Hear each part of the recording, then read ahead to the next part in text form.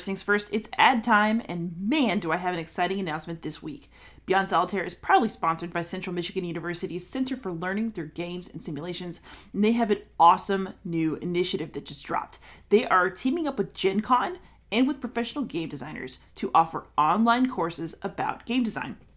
Take one just for fun, or take three to get a certificate in applied game design from Central Michigan University and Gen Con. How cool is that? The first course, The Art of Game Crafting for your classroom, boardroom, or game night, will be led by Eloy Lasanta of Third Eye Games and will run from May 24th to June 30th. It's designed to help you create your own role playing games tailored to your own needs at work, home, or on game night. Check out the link in the show notes to learn more and maybe register for the class. Let's get on with the show. Liz here with a quick note before the show begins. Zoom was being very finicky when we recorded this episode, and there are moments where the audio is just not quite up to snuff. The episode is great. I'm super proud of what you're about to hear, but uh, be prepared for a little bit lower quality than usual. Sorry about that, everybody, but enjoy. Hey, gamers, this is Liz Davidson from Beyond Solitaire, and I'm here on the pod with two special guests. One you already know, we have Jason Perez from Shelf Stories. Yo, my peoples, what's up? Thank you for having me on, Liz. Absolutely. And then Jason and I are both super excited to talk to you today's new guest. Uh, her name is Zoe Antoinette Eddy, and she is a professor at Worcester Polytechnic Institute, and she is a researcher at Harvard University. And I'm just going to add all around badass if you don't mind. How you doing, Zoe? Hi, thanks for having me. really excited to be here. I'm also, you know, the reason I'm here, I'm also a LARPer. I was really, really excited to be able to uh, I don't know, go like a geek first into a conversation versus pretending that I live a normal life as, as just an academic. So thank you both for having me. Really excited. This is a very safe space for the geeks. Yeah, uh, yeah. This is if you're gonna um, do a thing where it's like geek and also like 17 different degrees and the applying applied knowledge. This is the place to do it. Yeah, yeah we talk about it's like, oh, I'm a Latin teacher, I'm a therapist, I'm social worker. I was like, oh, okay, great, great, awesome, cool. so, um, well, one of the coolest things about your work, and one of the reasons you're here, is that your academic work kind of is at the intersection between anthropology, which is your area of study, and gaming. So, do you want to give the people kind of a rundown of the sort of stuff you're working on, and maybe we can focus some specifics? Yeah, so I um, am sort of a jack of all trades, and we were talking a little bit about this, Liz, before we got going. But when I was in college, uh, I graduated in 2010, and I was an anthropologist, and anthropology was not at the time um, people didn't look at really gaming or hobbies or things like that in a serious way. I think there were like ethnographies of Star Trek probably at that point because it's like apparently the only like hobby that people look at. But people weren't looking seriously at gaming. Um, so I kind of followed my other passion, which was indigenous studies. Um, and I did a lot of work in Japan, being, you know, a child of New England in 2010. Uh, Japan was the place to go. Um, so and I did a lot of work in Japan, but I myself am indigenous, I'm Anishinaabe. And I really started kind of looking at like, you know, how do people understand their identity in different spaces, particularly pop culture spaces. Um, and I went, I, I graduated kind of by the skin of my teeth in 2010 and went to grad school at Harvard, where I did not have a good experience any part of my my undergraduate or graduate education but I was passionate about my work and looking at kind of like Indigenous rights and history. And I survived it through LARPing. Uh, early on in my grad school career, I think maybe maybe undergrad. I don't know. I'm I'm wow. I've been LARPing for a long time. One of my best friends said, "Hey, you should come to this thing with me." I was like, "What's this thing?" And he was like, "It's like D and D." I was like, "Okay, cool."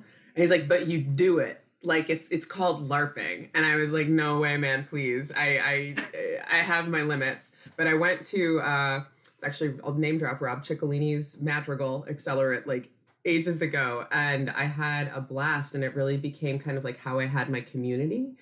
And i was there for like because i'm an anthropologist. I'm there for like two-ish years and i go wow like this why is no one researching this? Like why is no one researching this? This is so fascinating. Like people are people are embodying experience and like they're playing and they're telling these complicated narratives and it's really adult and wow. And the, honeymoon phase ended within about I don't know like 2 years when I realized that I was one of maybe like five native folks in the community. There are more now. There's like it's just it's New England is white anyways gaming hobbies are white anyways and LARP is not particularly diverse and I became very very aware of issues of appropriation in race play um and I was just fascinated by it because I I talk a lot about how the appropriation of race and like playing at a different race is common in games. Like we don't even think about it. It's like it and it's really kind of like baked into how a lot of games work.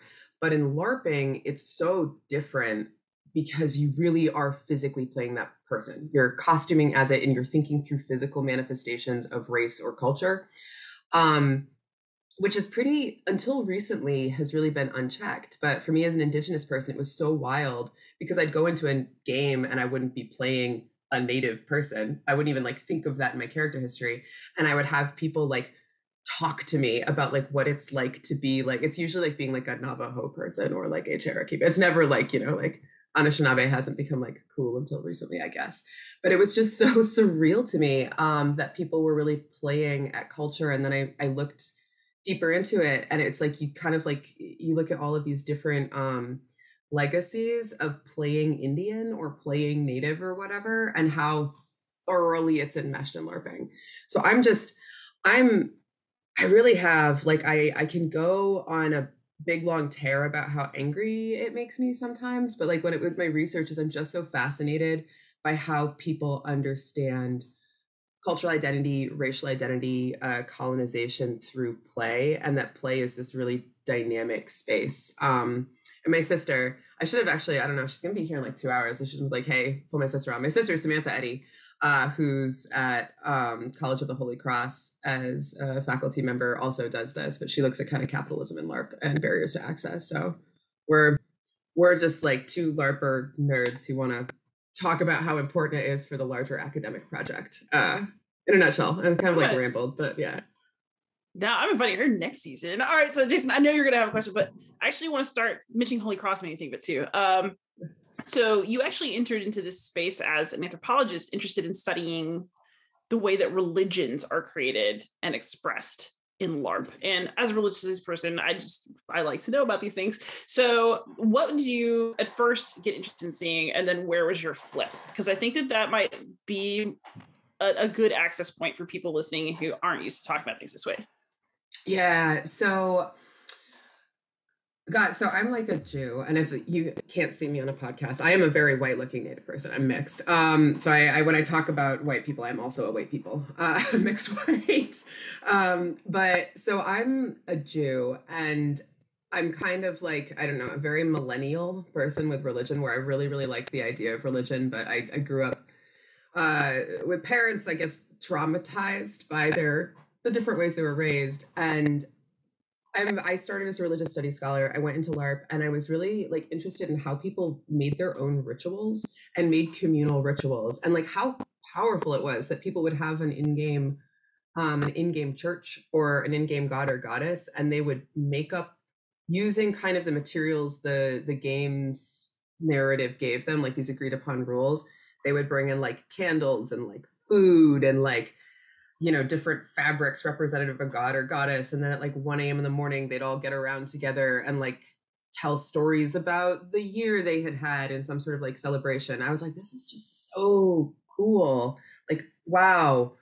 I know and i think from the outside it sounds kind of like culty but you get so, LARP, larping is a cult. We, we joke about this all the time. Um, but it's it sounds so weird but it's really powerful. It's like you just look at people making their own kind of like collaborative communal meaning. Where it flipped for me were shamans, um, is because people were doing all of this work to have like really dynamic, like obviously informed by different world religions, but really like unique things. And then there were categories of shamans, which and shamans were almost always um, you know, people, non non probably a couple native people might have but it's usually non-native people and usually white people uh, wearing like skulls on their head, like big furs, and literally like banging drums, speaking to the ancestors. Like I have seen people like smudging sage, for instance, and I was just like, oh my god, what is this? So we went from like this really cool, like in one place, this really like cool collaborative, uh, detail oriented, innovative way to approach religion. And then it was like if you you looked like left, it was suddenly people like in furs and buckskin sometimes. It was just like bad appropriations of of kind of like global indigeneity. And I was just kind of like, this really speaks to the marginalization, just not not in LARPing or just in gaming, but kind of like how culture has wrought the native, um, where there's just this idea of what clearly clearly is appropriative. And a lot of people will kind of like comment when I talk about appropriation, um, that it's like, well, you know, everybody like all over the world, even though shaman may be a problematic term, we have like animistic people, we have ancestor worship all over the world. But in the American context, there's this flavor that is so clearly supposed to be inspired by Native American. And so I'm not really speaking to the European context. Eurolarp is a whole different, whole different um, kettle of fish.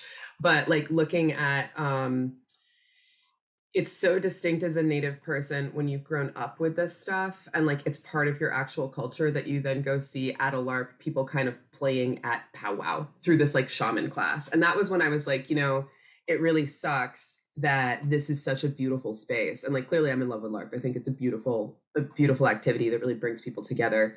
Um but it really sucks that this space isn't isn't as dynamic and safe for all of us. And I started kind of meeting, I started talking about it. Um, and you can always kind of like pick other like native folks out in the crowd, especially if you're mixed. And like, so I have like, uh, most of us are mixed because we're in New England, but we we started talking and we're like, yeah, this is so weird. Um, it's it's the great love story of me and my husband. Is he's like the other Ojibwe person, and I was like, "Are you native?" And he was like, "Yeah." You are? I was like, "Yeah." These these people suck, right? Yeah, yeah, they suck. Uh, it's our it's our love story. Um, and then we started a gaming company. Uh, but it, it just it was really driven by a desire for I, I want to understand why people do this, partially so people get why it's hurtful. Not even that it's bad, but like why it's hurtful, but really just to show how larger issues of representation um impact how people how people understand the world around them. And this is when i talk about appropriation i really think it's important that it's not bad it's not evil. Um it is something that people do i do it like for for years like you know i was i was a weeb i loved japan like i did not understand like issues of appropriation around like japanese culture like as a non-japanese person that's like but one example and I, I think that sometimes people um, whenever we talk about cultural appropriation they feel like they're being judged or it's bad. But like what it fascinates about like in my own life and in my research is that it's so informed by larger structures of narrative. Um, and unfortunately those larger structures of narrative are grounded in racist you know 20th century 19th century diatribes against native people. And that's the problematic stuff not people who are trying to um, experience something in good faith i guess yeah, I think like the difference for me is you have the entire suite of you know Mexican food from all up and down, you know uh, Tex-Mex and you know different places in Mexico, and then Taco Bell. And yeah. it's like if you only know Taco Bell, and someone asks you like, uh, "Do you know Mexican food?" Yeah, I go to Taco Bell. Like that's Mexican food, and you know, like uh, you mentioned Japanese, so like the entire suite of Japanese foods, and you know they do all sorts of great stuff with fish, vegetables, and everything, and then it's like sushi roll. It's like I know a sushi roll, and and so it's like okay, uh, oh, this actually happened. Um, like a uh, like I'm a basketball fan, so Linsanity, the Chinese basketball player who like lit the lit the world on fire. They wanted to like celebrate his, um, you know, like we're gonna you know Linsanity everything, and like we're gonna put fortune cookies and everything. Okay, I'm gonna Ben and Jerry fortune cookie, like you know, Linsanity edition. It's a it's a vanilla ice with a fortune cookie in it, and so it's like, eh, no, I mean really, and so like what you're talking about is like in in the American context because they're very consumer driven, right? So like yeah. we these things like what you're describing, like the bear skin and the the the the skull, you can buy that. Yeah, and so yeah. it's like like we we take the parts of culture that we can buy and that's what we that's what comes in, you know you we reform that right so like, like that's what you're talking about in terms of the appropriation like appropriation is literally taking i mean yeah. right and so we're taking the stuff that is takeable and reforming it into this like this thing right? So like that that that's what we mean by. That's how I understand it. Uh, what I loved in your piece when when when Liz link, linked it was like you talk about that process, but you also talk about how that is also part of the project of colonization itself. Mm-hmm. Like and perfectly nice people do it. It's New England. New England's full of nice people. Uh, we all wear our masks and we all do our things. But like when we engage in this, what you call race play, not so there's this one part where it's like we're eating the taco, but we're not eating the real thing. And then another part is we're redoing colonization. So maybe talk a little bit about that piece. Yeah. So I think um, one of the things I'm talking about colonization is I'm working specifically from the context of settler colonialism, which, like, you know, long story short, is it's genocide and erasure through displacement. It's that you move indigenous people, native people. I also I also flip between native and indigenous just for anybody listening. Um, but you remove indigenous people, indigenous communities from their actual land. And that's like the big thing with settler colonialism, it's displacement of land. But you also do that through culture. And cultural appropriation is a way of taking and removing culture from the occupied population. And where col- the colonial project in games gets so complicated is settlers.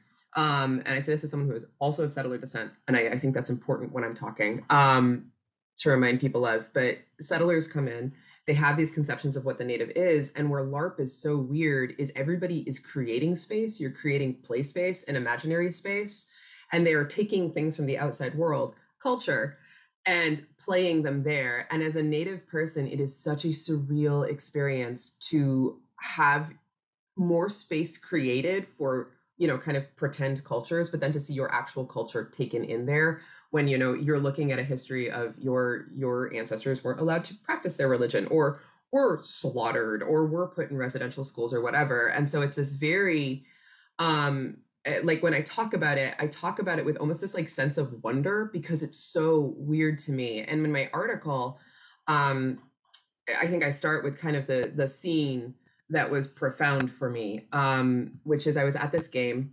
I try not to name names, so I got to be good at that.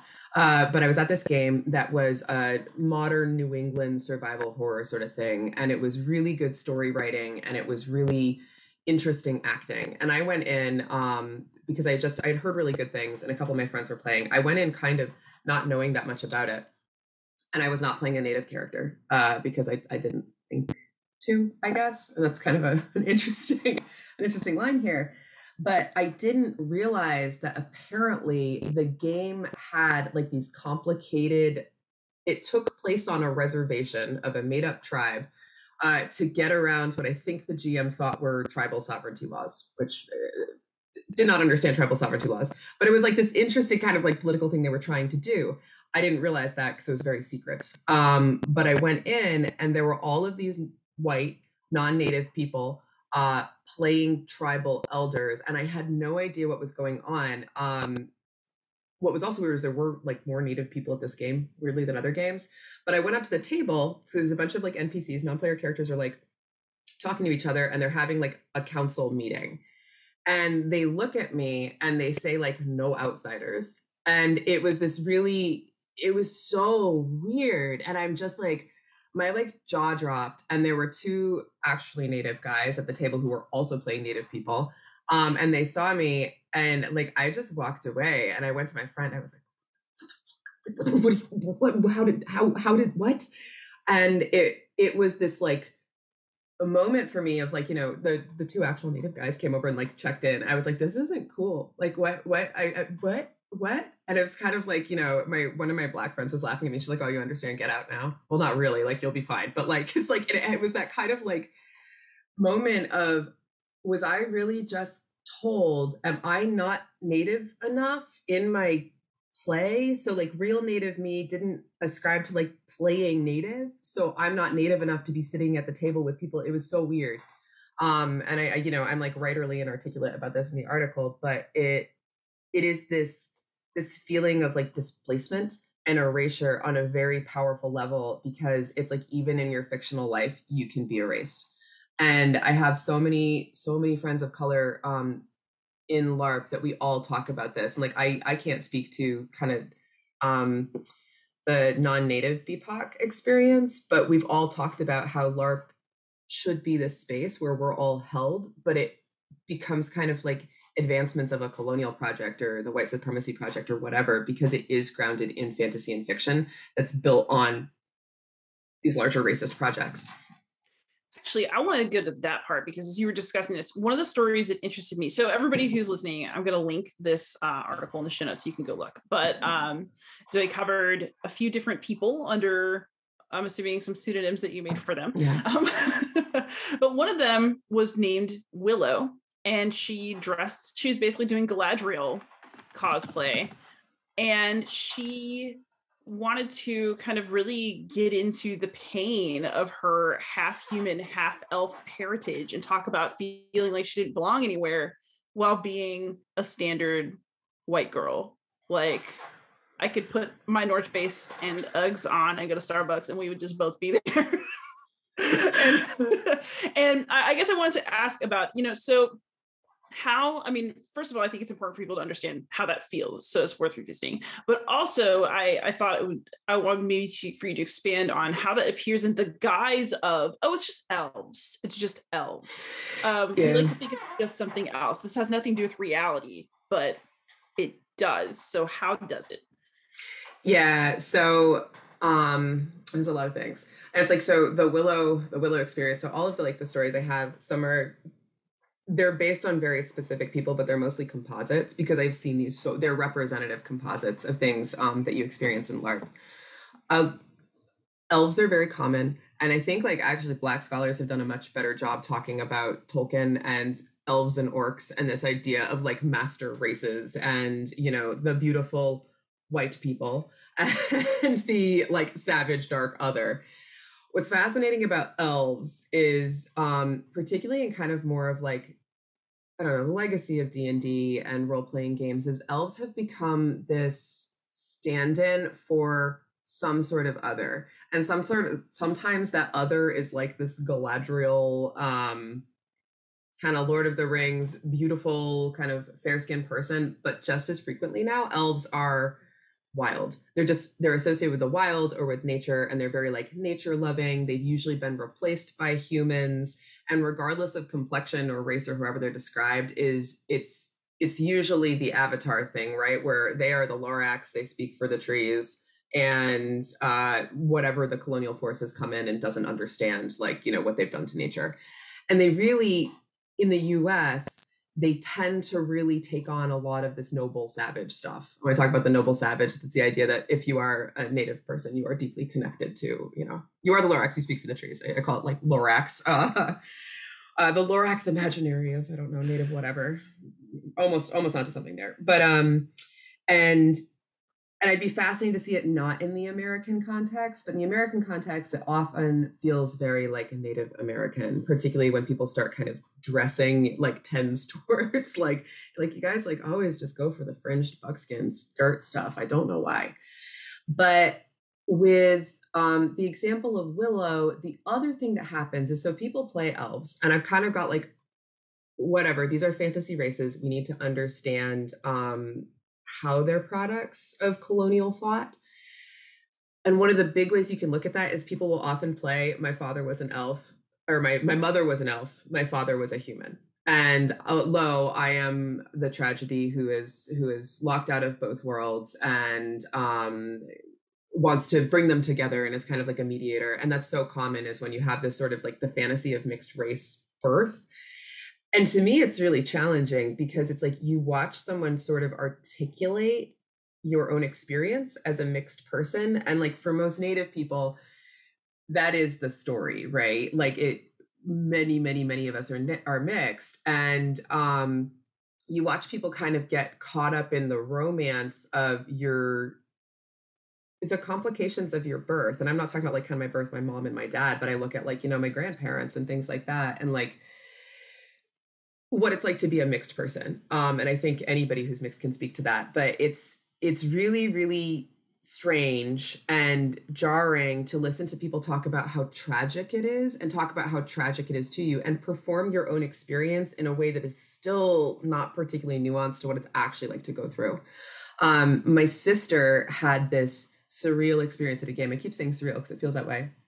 My sister is much less uh, white looking than I am, and she's very clearly mixed. Um, but my sister was at a game, um, one of mine actually, and we tried to bring in like you could play mixed heritage. It was okay. We got rid of the we got rid of the construction of race insofar as you can, but we had fantasy uh, heritages and you could combine those heritages. And it was because we have so many mixed players that come to our games.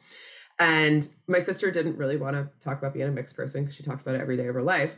Um, and she, uh, that's what does.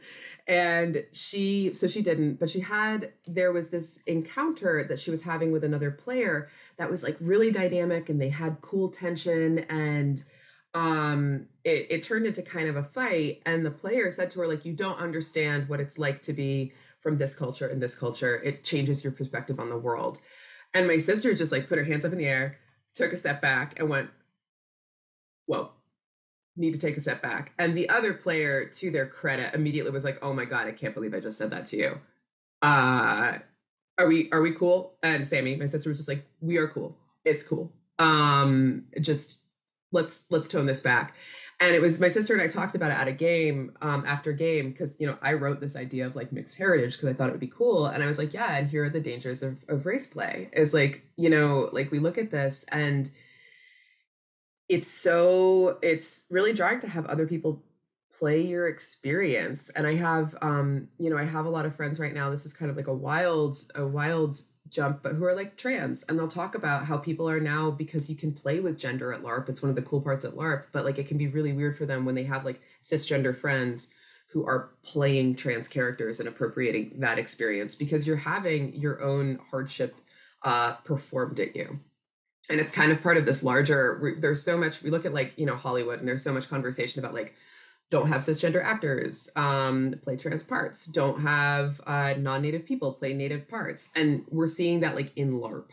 Um it's gone in like a wild direction but yeah we can get back to elves too. I'm happy to do that but it's it's part of this kind of like um this larger thing of there are these different signposts in the larp landscape where people can sort of affix themselves to problematic play so as soon as like you're playing an elf and you're playing an elf and in your your your mind you're like, yeah, and my mother was the was the Sacagawea of the elf people, basically. And my father, and it's like, it gets so bad. It's like cringy.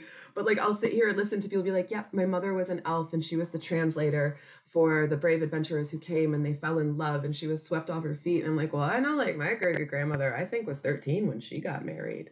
So uh, to a white fur trader, it's it's not that romantic, and also just this is weird. Like this is weird.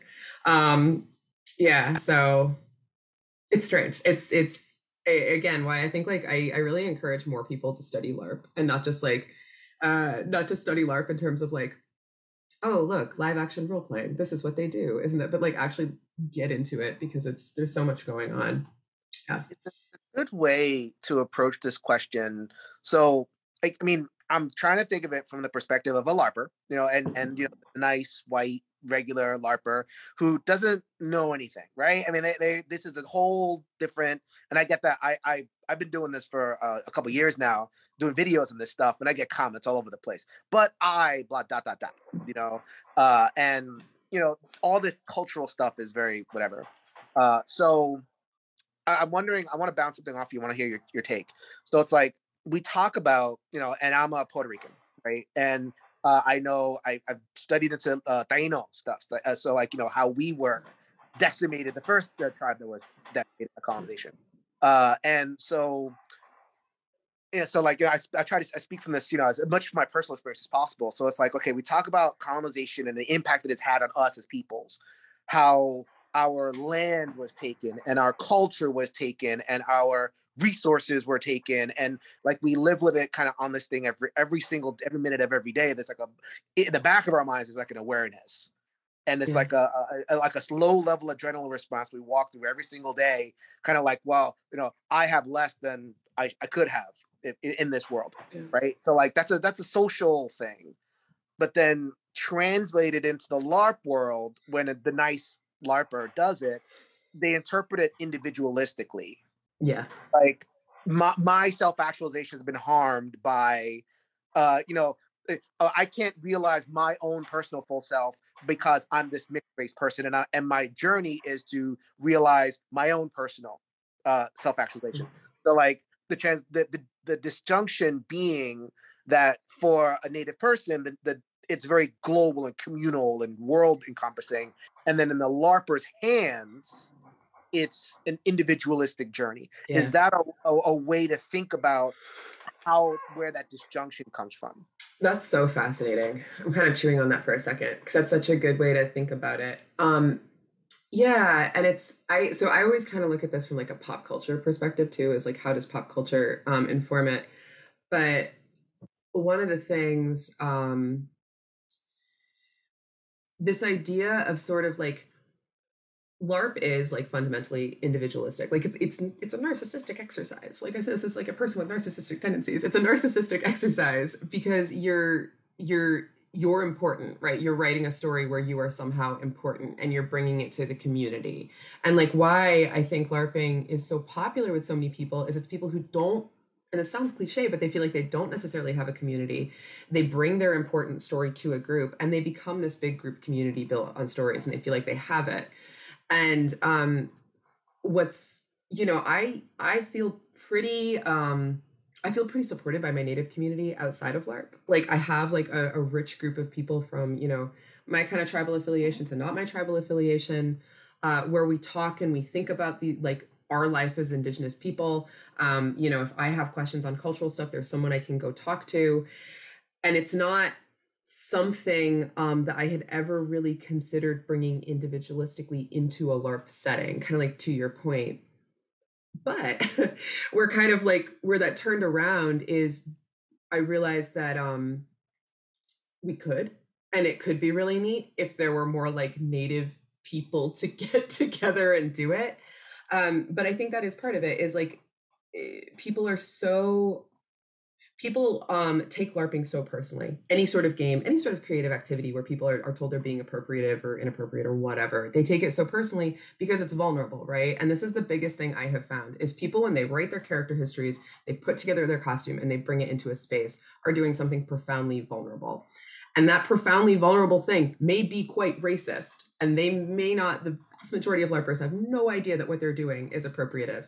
Um, but like when you call them on it and it's like I'm learning to be more gentle when I try to call people in because it is the creative exercise is one of great vulnerability and intimacy. And people get very defensive of it. Uh, kind of long story short, I do too. Like I've done I've done problematic shit and uh I get very defensive of it.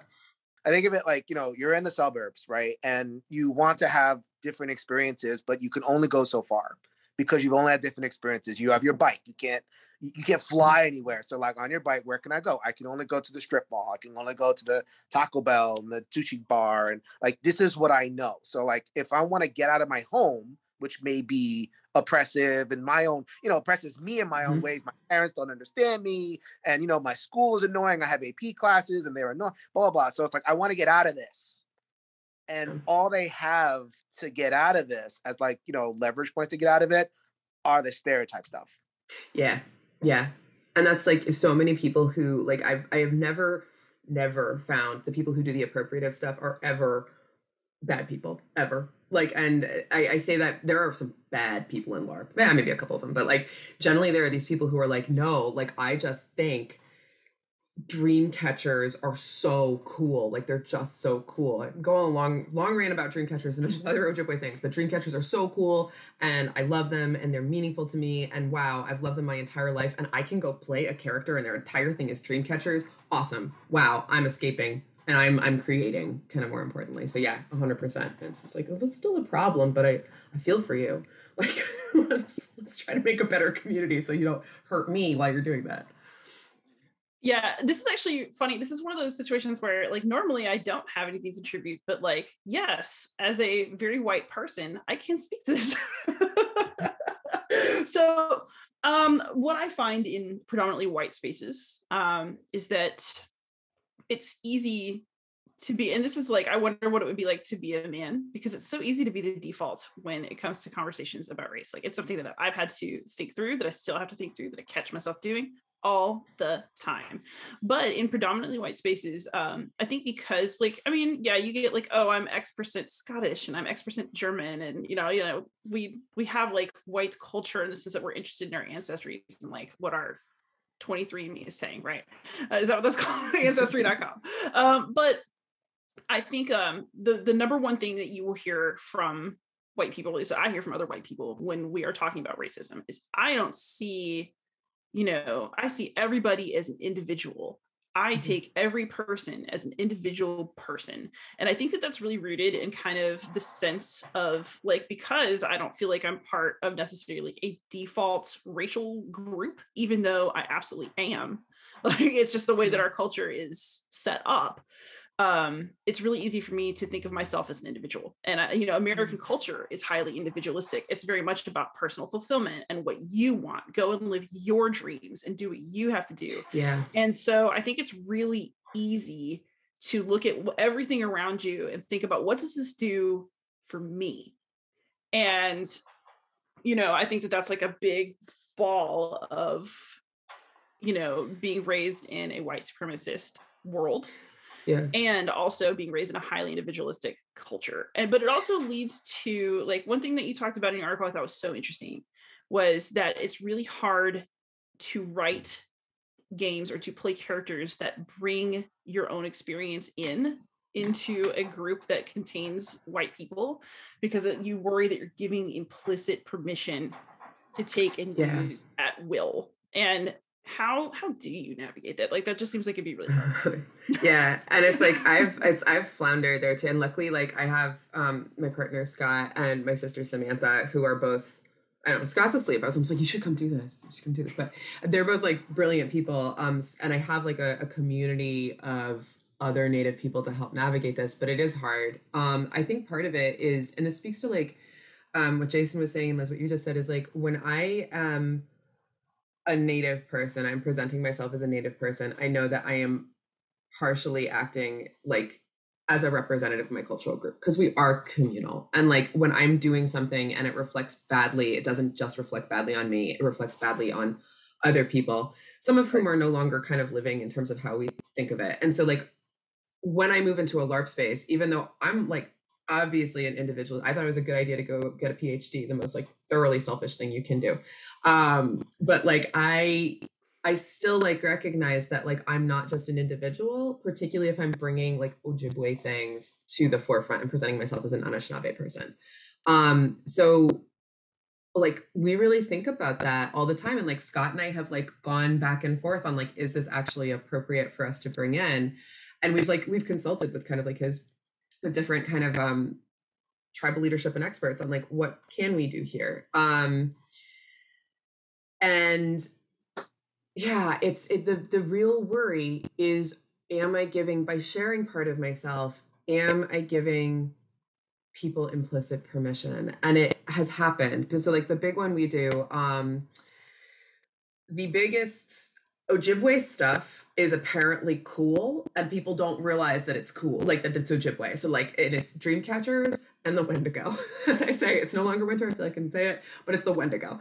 Um and like you know like scott i, I talk about him a lot because we go back and we go back and forth to stuff all the time but like scott grew up like a poor ojibwe kid. He grew up like just off reservation, very poor family, and like he lived the stories of the Wendigo. Like that was what kind of like were his bread and butter growing up as a kid.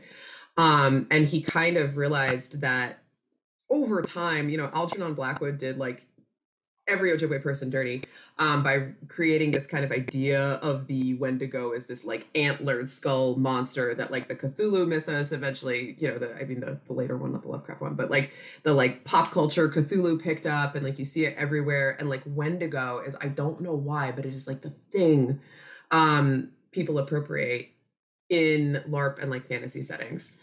And like so we this is a good example of we were like, we really want to do something here because the Wendigo um, is such a powerful like piece of our culture and it really like it's kind of it, it, does speak to like the dangers of being individualistic and the dangers of you know yada yada but it's also a good a good metaphor for colonialism and we like actually consulted with people because we weren't sure if we should. And what we found out is like no just don't go don't go in there saying like Wendigo especially if you're running LARPs in the winter you fools. Um but like go ahead and like talk about like an analogy. So we use like the starving man and we used it to talk about like colonialism and hunger and poverty and desperation. And it was a really really cool i don't think i talk about that in this article. Maybe i do. Um but it was a really cool way it's like I've got a lot of irons on the fire. Some of most of them half finished. Um, but it was this really cool way to be like, okay, here's like something that's appropriated. We're gonna take it and change it into something else that is clearly inspired by and informed by and is the same story, but it's different. And what happened is we saw some other like game runners were watching this. And they were like, okay, cool, cool. So we can totally not do the Wendigo and just do something inspired by the Wendigo like they did. And they've given us permission to do this. And we were like, no, no, that wasn't what we wanted. Like that wasn't it at all. And like we didn't we confronted them on it and like they truly they truly were like, but like but you you did it. You weren't like allowed to use the actual W word. So like you you you made the starving man. So we did the same thing because we're not and we're like, yeah, but you're missing kind of and that's with cultural appropriation. People are like, okay, if I'm not taking it whole cloth, it's fine. And I'm giving like so if I'm I'm just kind of like if I'm shifting it, it's fine. Um, so I think that's one of my big worries. The other kind of worry I have is I have like a ton of skin privilege. People don't necessarily, they may, they usually just assume I'm Jewish. They may assume that I'm like mixed something, but they usually don't pin me as native unless they're native. Um, so when I'm playing like a native person in a game or I'm talking about native things like as a game runner, um, I worry that I give people who are white and not mixed permission to do the same. And it's kind of um I how I navigate that is it is better for me to give uh to build space for native people than it is for me to like overly worry about people stealing that identity because they're going to steal it anyways. And if they're in my games and playing it or seeing me do it, I feel like we at least have like a, a connection. I'd rather build space for for people who are underrepresented, but it is a worry and it's happened and it always makes me feel like makes me feel gross. Uh, yeah. So I guess this always leads back around, right? And you know, you talk about your own past as a weeb. Um, what happens when you really feel like you're connecting with something from another culture, and maybe you want to do something with it? Like in your article, you mentioned that you know you define uh, cultural appropriation. Partially, it's just sort of taking something in an unequal power balance. Partially, taking something without permission. How do you get permission? What does that mean? And you know, how do you you know let's how do you how do you connect with something that you feel like you really relate to but it's not from your culture in a way that's respectful um, or do you just have to let it go? Yeah i think there's a certain amount of having to let it go and i think that that's that's something that is really phenomenally um hard for people and it's like so i'll use my own my own thing here like um I studied Japanese. I lived in Japan. My dissertation was on Japan. Uh, and I, I loved it. My ability to be in Japan is partially because of American wartime occupation. It's partially because of, you know, like um, the West, so called West, came in to Japan in the late 19th century. And it's then because there was this awful occupation of Japan we never talk about um, following World War II. Uh, and so my ability to study Japan, even though I have many, many Japanese friends who love like sharing their culture with me and stuff like that, it's still there are power imbalances as an American that I just have access to that. Um, and it's something that I just have to think about. Is you know I think Japan is one of now the soft power empires, uh, but still it's it's my access to it is not without um, is not without bloodshed. Like quite literally. And I think when people are really like, I really appreciate this culture and I love it so much and I want to connect, it's like you can connect. That's cool. And I'll, I'll go to like kind of there are ethical ways to do that.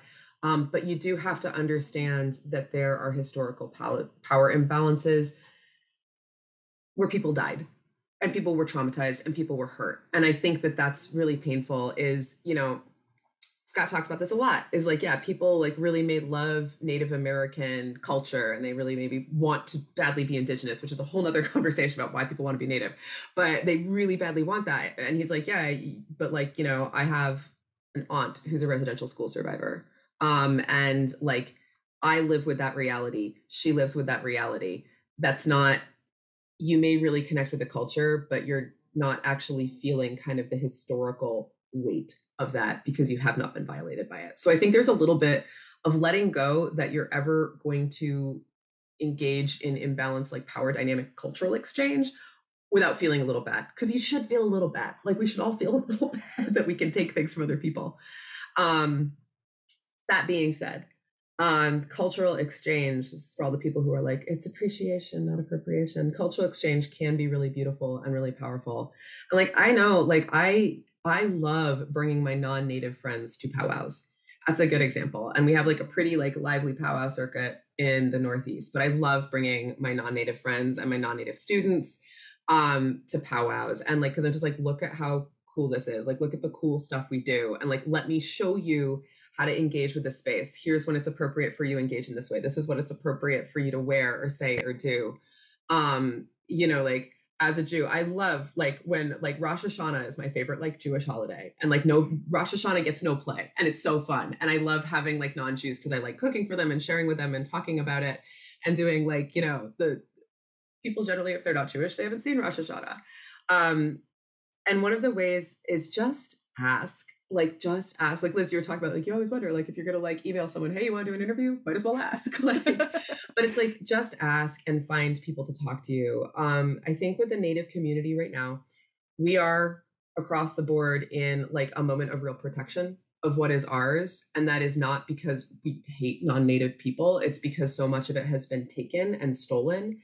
But like if people really connect with a culture go find cultural experts who are of that culture and just talk with them about it. And like read books written by people of that culture watch movies um, and do so without making it yours. My sister and i were talking about this when encanto came out. Um, encanto was an amazing movie for so many reasons.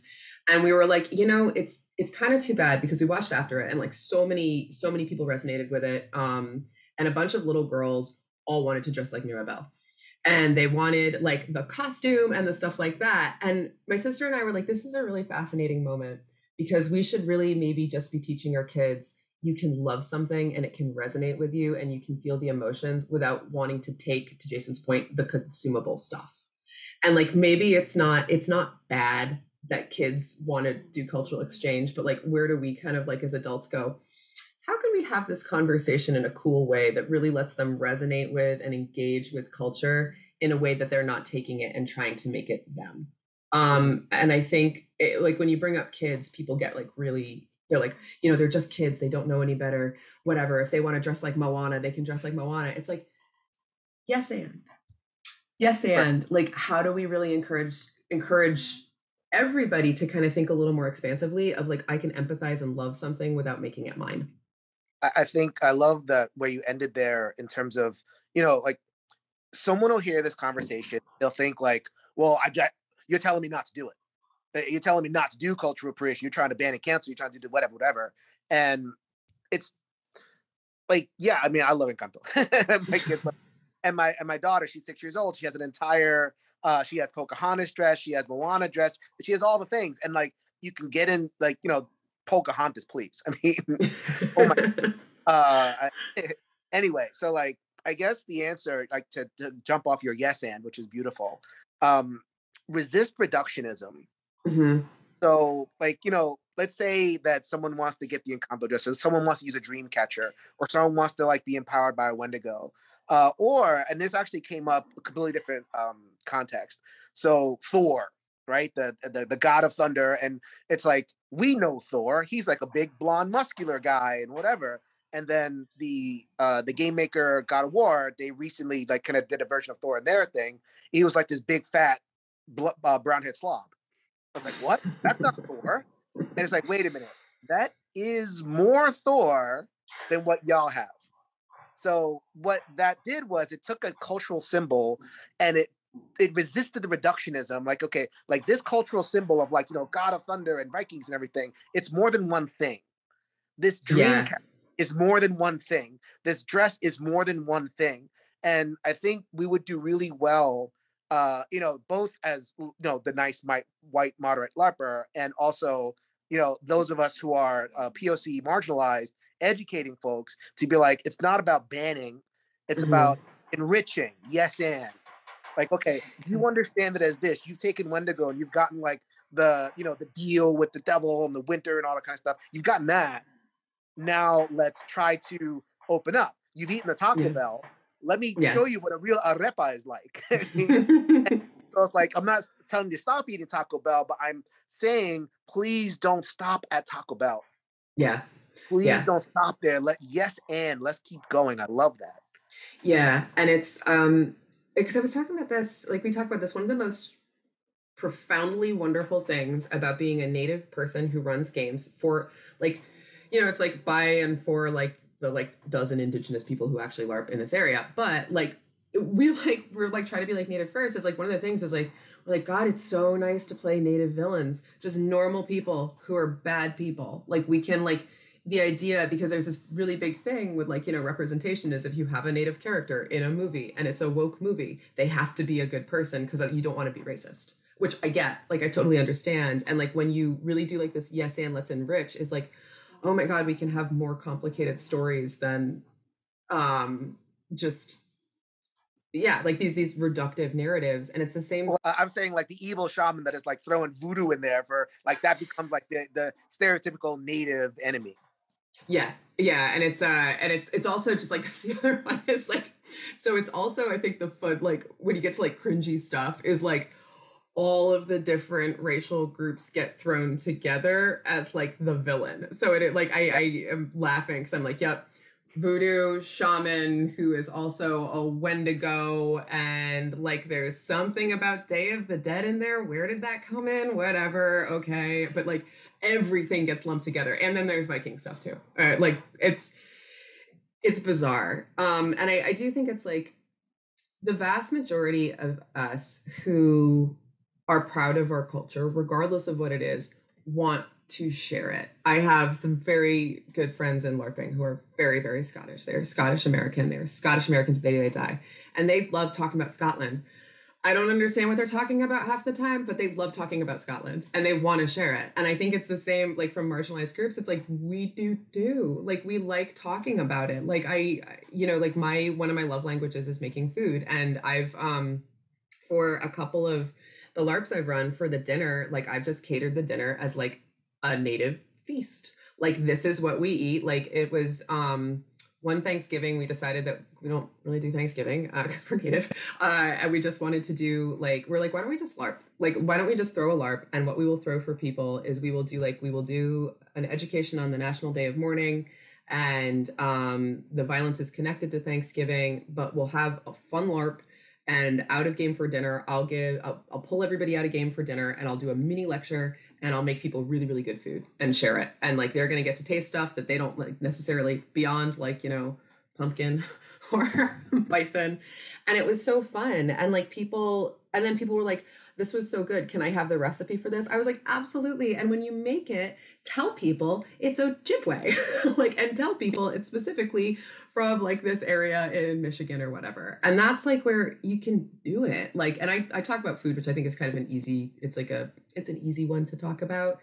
But like you can absolutely do it and just go beyond this sort of exactly like reductive idea of what it is to be any one thing. So I want to pick up on the idea of reduction because um, it's actually something that came up in your article as well. And I think actually in the context of religion, and you know, I think most people see their own religious experiences as quite rich and nuanced. But one of the hallmarks of something being culturally appropriated is that it's flat. It's been flattened. Um, and when people express horror at your version of something that is from their culture, a lot of times it's because you took all the flavor out and just yeah. made it flat. So, yeah. um, is that a general trend, you know, that you've just seen outside of this article? Is that is that part of the issue? I just think it's it's and you know, Jason, one of your big taglines too is don't be reductive. And I feel like if you're going to take a lesson from y'all, that's a good one. Yeah. So one of it, and this is easy.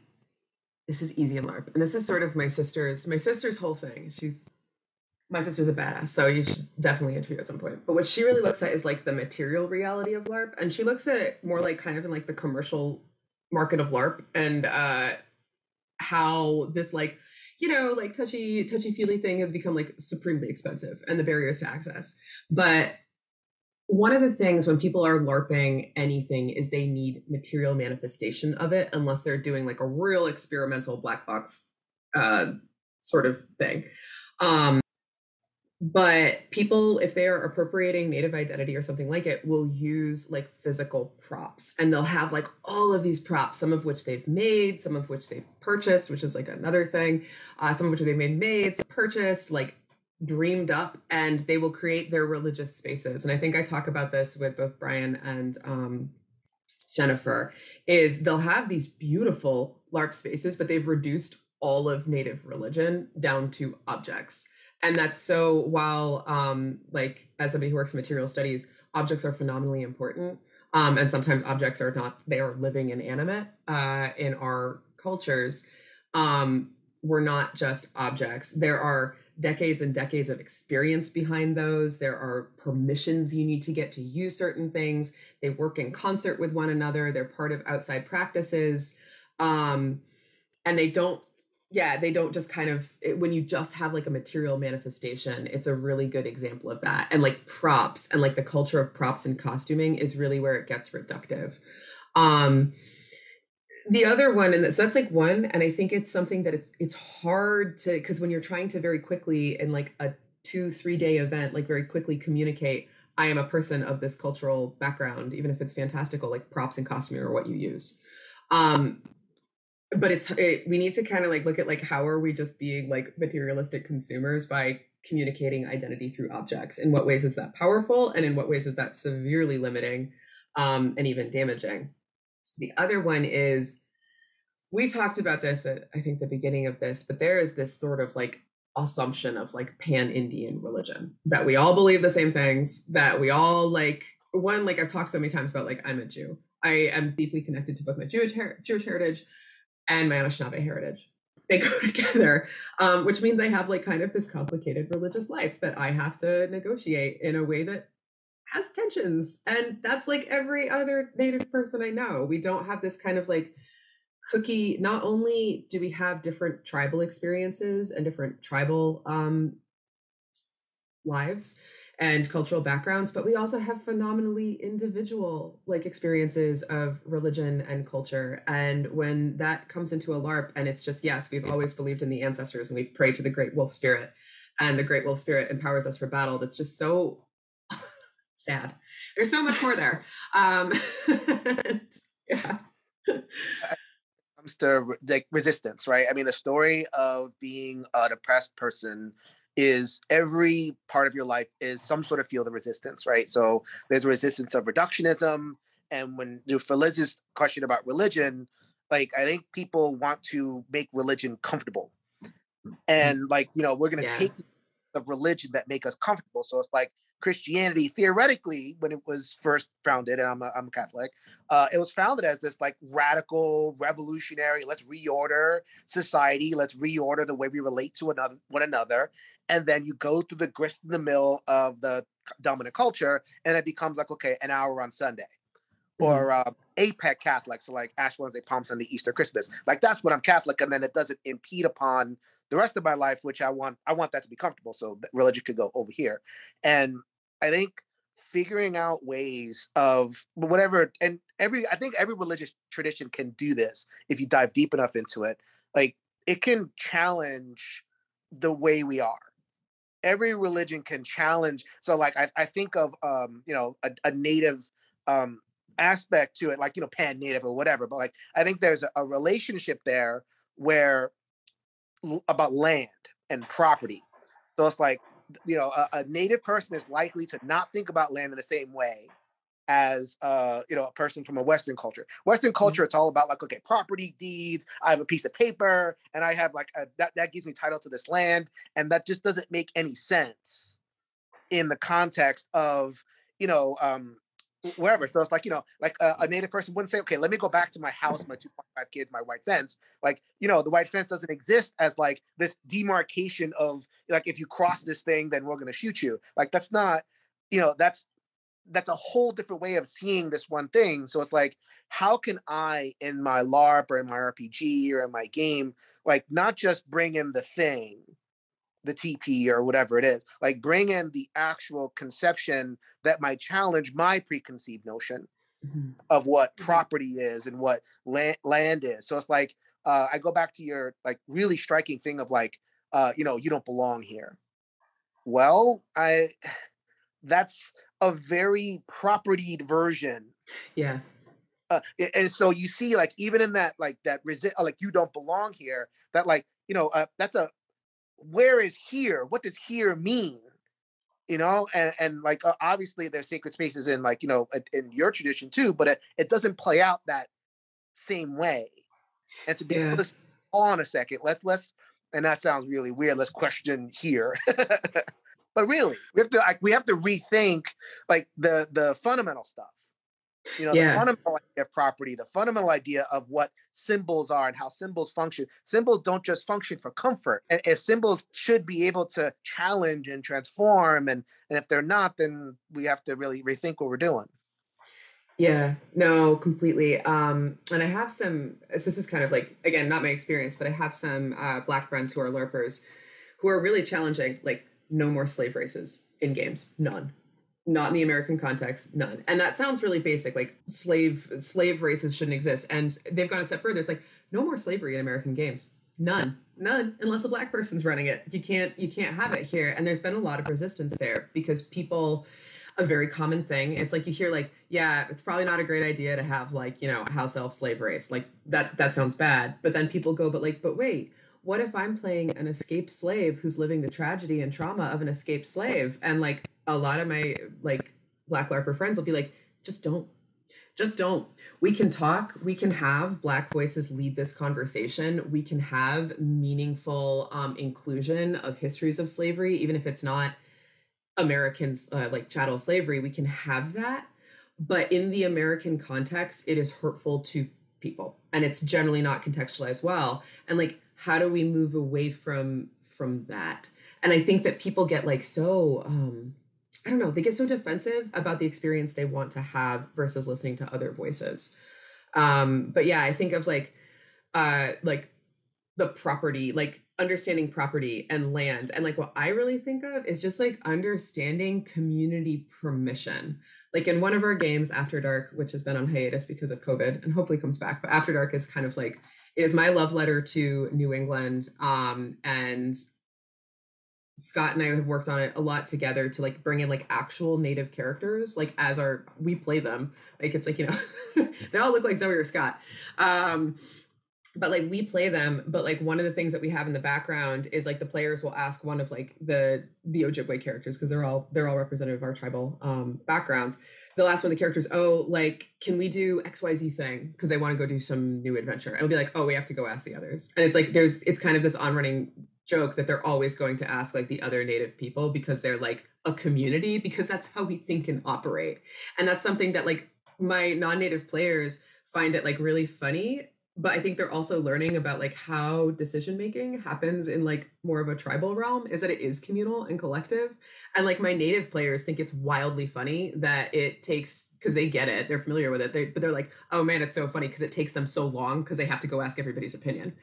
Um, and it's just stuff like that. It's like challenging, like how do we think about how people live their lives? Even so basic down is like, oh, uh, I don't know if you can actually go do that. Let me go ask everybody else. What we, you know, um, I've seen some like you know I'm familiar with the Jewish context, but I've seen like Jewish players do similar things in like modern games. Um, I do find this is this is a tangent, but I do find modern games to be where we can actually make meaningful progress because they're the most difficult. Because if you have a modern game, even if it's set in like a fictional world, because they're all fictional worlds, but if you have a modern game, you really have to grapple with a lot of the very uncomfortable issues that fantasy games kind of mask.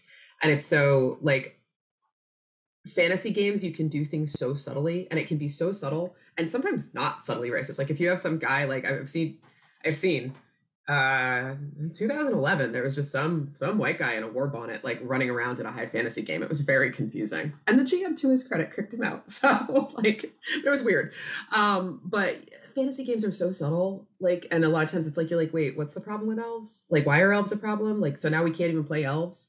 Um, but modern games are really where sort of that mask comes off and people go and play them and they go, oh, that's the problem with elves. Oh, I get it. Oh. And I think that there's a lot of work to be done there. And I think that they're exciting. And I, I don't think that they were really popular. So before COVID, like modern LARPs were super popular and there was this huge, like, all these different people were running them and then covid hit and people went we don't we don't want to play in the modern world anymore. Can we go back to fantasyland? So i'm bummed about it but that's a side point. Oh no. All right i'm going to set y'all off on one potential run more before i start to wrap this up but jason this is a favorite topic of yours and i actually think it's what i was trying to talk about earlier and i remembered. So i think when we talk about things being flat the other thing i think one of the reasons that happens is that um, a lot of things that white people bother borrow from other cultures uh, we borrow from history. History kind of seems like it's dead, like it's not here anymore. Like it's something that's just in the past. We can just go pick it up and play with it because there's nobody out there who's still playing with it. And it is something that we've talked about in historical games primarily on this podcast. But I think that that also kind of comes back around to these discussions of religion and shamanism. And like, if you don't know someone who's doing traditional beliefs, it might seem to you like you can just pick it up because like nobody's really doing that so like my version will be fine um, but these things are alive and other people are practicing them and you know just because it's not something that's part of your experience doesn't mean that it's not a modern living experience.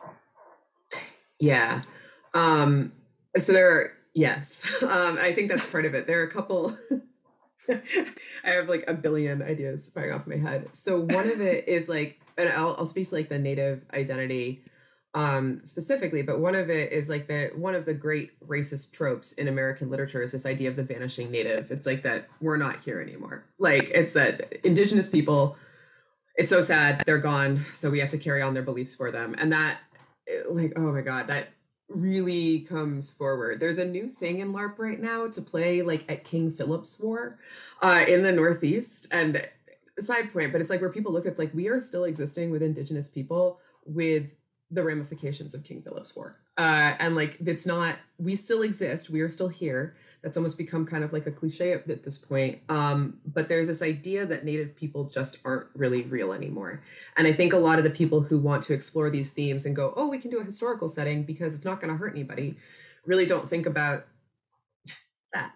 The other thing is there's this great book by Mark Rifkin called Beyond Settler Time, which really challenges and I think is at the root of like a lot of indigenous thought right now. It challenges this idea that history is linear because we don't see history as like a lot of indigenous groups in the turtle island area we don't see history as linear. Like we it's more cyclic or it's more kind of it's more uh, multi-temporal and this book is great um, for people just to understand a completely different sort of thought around time and it's why when we hear, like, when people talk about generational trauma and the idea that the trauma of generations before you is carried in your body, and no, it's not like a past lives thing, it's that if things happen to your ancestors, you are still experiencing them, is such a, it's like a controversial concept in indigenous communities sometimes, but is a powerful part, uh, part, I think, of indigenous thought. Um, is that we do not exist separate from our histories. And I think anybody can understand that, regardless if they're um, from a minoritized community or not, is we don't exist separate from our histories. Um, but what my sister and I talk about a lot is like, it's so weird that like I'll, I'll say non-native people but it's so weird that like non-native people really see like kind of like history as this like linear thing that they can march through and they can go back and pick up chunks to play with and put back whereas like we kind of feel like we are responsible for all of our histories and it's like if you want to like if you want a fascinating look at like a really complicated ancestry tree and like understandings of like you know kind of like ancestor work or like lineage work is like talk to a mixed race native person because we have just as many like racists and white supremacists in our family tree as we do um, like native people and we often like i think a lot of it is talking about like how are we responsible for time and how are we responsible for history and how do we carry it together? This is all to like kind of like wrap up and say that from an indigenous perspective is you can't history isn't like safe. In fact like sometimes it's the most like um it's it's one of the most dangerous things to look at because like we're people existing now in spite of history and we still kind of carry it forward with us I think speaking to Liz's thing, like when we talk about, and I'll get, uh, if I haven't gotten in trouble with the white people, I'm going to get in trouble with white people now. Uh, the idea of um, like whiteness, like inherent in the idea of whiteness is the idea of forgetting. And um, the idea like okay so you mentioned before like the vanishing native uh james fenimore cooper last more mohicans and you know uh, uh, like you know it ended at wounded knee like 1890s like that's the last time we've heard significant from native americans in the last hundred years there there have been none of y'all uh or like it's all been in the past.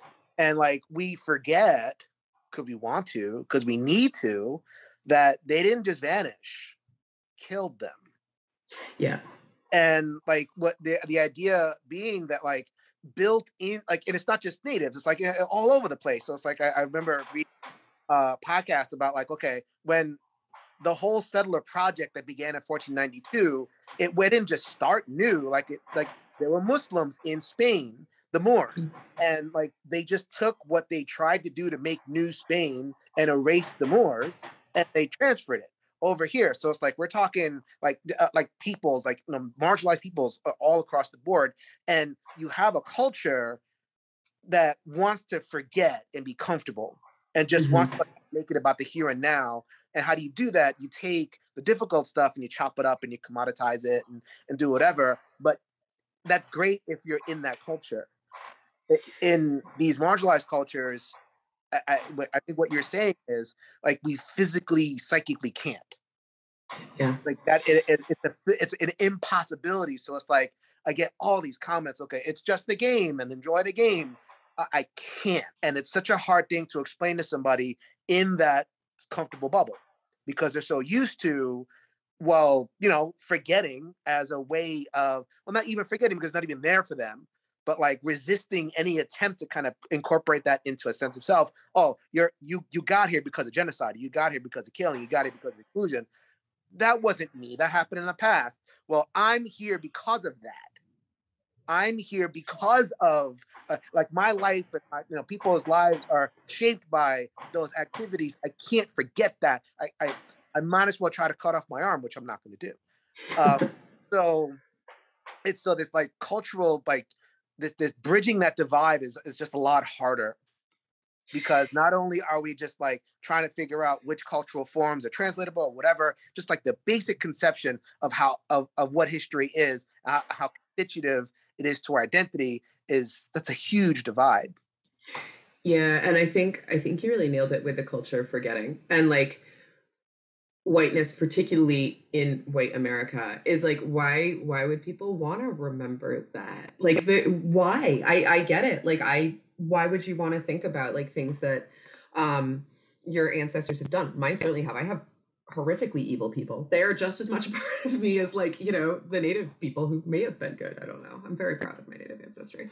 Um but it's it is a culture of forgetting. And i think in a fantasy space or a fictional space or whatever, but this embodied play space is we often think of it as a space of creating.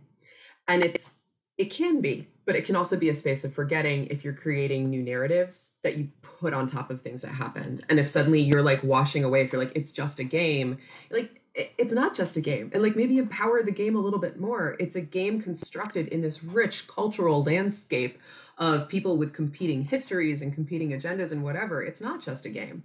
It's um, a manifestation of how we live our cultural lives. And I think kind of my my big pitch here is people. Not every game you go to has to be super woke, has to be super progressive, has to be subversive. Like for the love of God, I like just going and playing games sometimes. There, right. I like when it's just a game too. Gosh, my dog just barked. But um, instead of it's like in our spaces, instead of contributing to this like culture of forgetting, why not try to create a better collective memory? And why not use games as a space where people can bring kind of the tensions and the controversies of the real world into them um, in a safe in a safe way that supports diverse voices and recognizes that we do do a lot of work in our day-to-day lives to forget the past and again like i i talk about um the united states specifically because it's such a rich space to play in because we have this horrific history that has so much to it. And like americans however we define ourselves you know um we're weird people. Like we're weird people who've done weird things globally um who continue to advance like violence globally. And it's like we are so lucky that we have these spaces in this country to play and we can use play as something productive and we can use play as a way not to forget but instead to investigate and engage and build like an ethical collective memory. Right and i think like you mentioned that dirty word woke. Woke. And woke woke uh, uh, word, word plagues my brain. So it's like i think um when i say stuff like okay the white i'm gonna get trouble with white people like people automatically judge that i'm gonna say something super woke and for me, like wokeness is inherently negative, or inherent is is inherently about blaming, shaming. Like, okay, uh, we're going to talk about like Thanksgiving as the the genocide of Native peoples to make people feel bad about Thanksgiving. You know, I don't want you to have turkey. I don't want you to enjoy stuff. And like, that's not why we want to remember stuff, right? we don't want to just remember stuff to make y'all feel bad. That's that's not the point at all. Uh, because I want to play games too. Like just like uh um just like you said, it's amazing. Um the idea being like after 1890, like which was kind of the nadir of native population in America, like the native population did nothing but grow again. And now what's the population now? What are y'all over a million? Uh, you know, birth tribes and all, and if you count mixed rapes as well. So it's like you, you can't even you, when you forget the the genocide and the death, mm we we stop ourselves from telling the story of rebirth. The end of the day, when we when we talk about like cultural, like culturally resonant, I don't like sensitive because people whatever, culturally resonant LARPs and RPGs and games, I want to tell about the story of not just the death and the genocide and brutality, but the resistance and the rebirth. And we can't tell the story properly if we don't adequately remember. Because if we tell a story of rebirth and resistance without that cultural memory, then it becomes the individual's mm-hmm. rebirth. And that's cool, sort of. But then when you tell the individual story of rebirth, then we start to, you know, kind of play at that cultural stuff. And it's like, no, no, no, just just do just go for the whole shebang for me. Yeah. Yeah. And it's it kind of, I guess, um it's this idea of futurity too, right? And it's like the one thing like I think um is like man as a native kid, how cool would it have been if I could go read like RPG books where I got to be native or how cool would be I got to play as like a native kid and my background and culture was just as important as you know the guy who really is is big into Vikings or whatever or like and or the the kid who's super super into like Arthurian legends. And that's where i think of like when like i look at we as adults is like what's our responsibility here? Our responsibility is really to try to move this in like towards rebirth and resistance and revitalization like all those are words um because like there are kids and like we all kind we're having these conversations uh regardless of what our identity is because as kids like something was formative. We still play games because it was formative as a child to be able to engage in that space. And like we owe it to the kids. And it's like i i got like a, a kiddo. Like it's i i get so excited when she has access to her um cultural world. So yeah i'm, I'm like think of the children but like actually think of the children not think of the children because you don't want to talk about problematic things. So history is not a safe space but also you still have to go there. Yeah yeah so Zoe, um, why don't you just why don't you just give us a quick rundown of you know any interesting projects you're working on now and where people can find you online? Yeah, so you can find me at Red Rabbit LARP Productions or Red Rabbit Productions. God, I don't even know my own thing. Um, Red Rabbit Productions. Uh, you can look up Zoe Eddy. I'm all over the place. Uh, I am right now. I'm looking at a pretty. I'm starting a new project on LARP, looking about uh, looking at militarizing pleasure, and military play in LARP, and it's super cool and like how people understand war games and the problems and potential therein. I also, my other great love is looking at a native baby Yoda and the native baby Yoda phenomenon and how indigenous communities are claiming the Mandalorian as their own to look at uh, stories of resistance and childhood and risk. And some, and I teach kids a lot. I and I teach my awesome students. They're not children. I'm going to tell them to listen to this because uh, they were excited I was going to be on a podcast about gaming. My amazing students at WPI, I teach them a bunch. They're great. That's pretty much me. Jason? Sure. Uh, you can find me at Shelf Stories uh, YouTube channel, Shelf Stories GBL. Uh, the big project that I have working on right now is called The Case Files, which was birthed here on uh, Beyond Solitaire. The first time I mentioned the Case Files was here on this podcast. So I'm happy to uh, to share that I've int- I've put up an intro video defining terms, appropriation versus pre- appreciation, stereotyping, and erasure.